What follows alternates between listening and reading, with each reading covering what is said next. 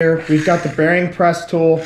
You've got the bearing uh, release tool, which takes the bearing out of the wheel like that.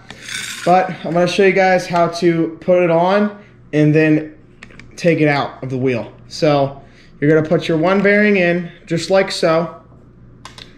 And then you're gonna put the wheel on. Put your second bearing on.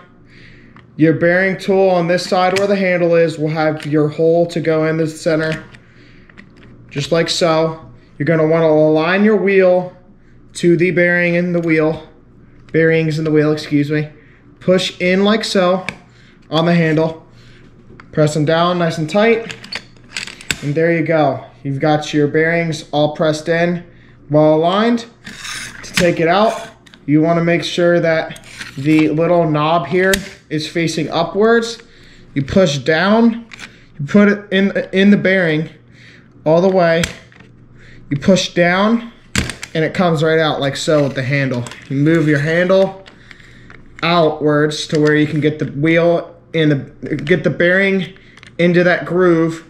Push into where the wheel is pressed in on there. Push down, push down on the handle, and boom, there you go.